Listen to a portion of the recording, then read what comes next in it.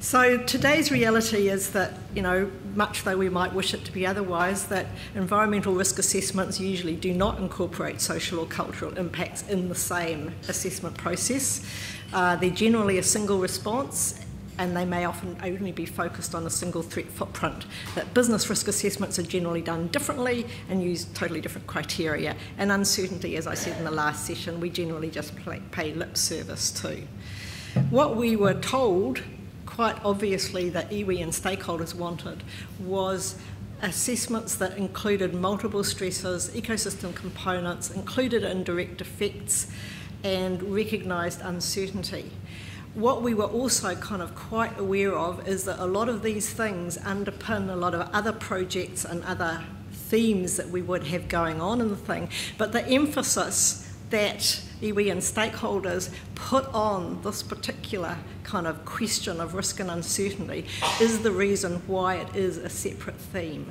The idea that okay, sure, we could do it in bits in all these different places, but if we wanted to kind of have a really um, a really strong addressing of this, making sure that we didn't actually have any gaps in what we were doing, the best thing to do was to pull it out and actually bring it into a theme. So that's what we're going to do.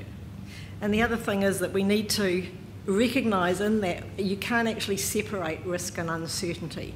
They kind of like commingle with one another most of the time in a really complex way, and that they are perceived differently by different people. So the research that we need to do needs to kind of contain the ability to understand how perceptions vary between sectors, locations, cultures, and just about everything else you can think of to develop the capability to understand the problems that are actually caused by uncertainty. So we need a lot of new theories, we need a lot of new models, particularly ones that can kind of integrate across different types of risk, um, that can look at dynamic changes, that kind of accumulate those, those risks to multiple ecosystem components and um, include that kind of effective uncertainty. So, the overarching question that we came up with, as Chris Cornelisen pointed out yesterday, is a really complicated one. And he said, Did you write that, Judi? And I said, Yes. but the really important point is that it, it's kind of we didn't want to rule things out. So the point is that it's actually, we're looking at the effects of climate change, environmental variability, and human actions, and not just on ecological health or business risks. We're looking at uh, the effects on ecological health, social and cultural values, and the blue economy. And we've got to do that in the background of a lack of environmental data, and actually, probably often a lack of social and cultural data as well.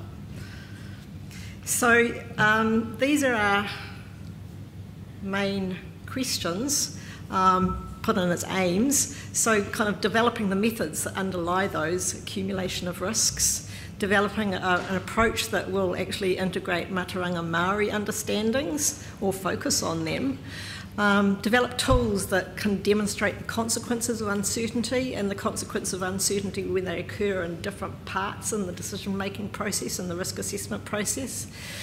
Linking those ecological, social, and cultural risks to business risks so that they're not two totally separate components any longer, and kind of generating uncertainty on the effective generating understanding, not uncertainty, on the effect of uncertainty in decision making processes. And one of the important points about that is there is actually um, uncertainty in how a decision is actually going to be made. Sometimes we think we know how it's actually going to be made, and then we find out that at the last minute that it's actually going to be made by a politician.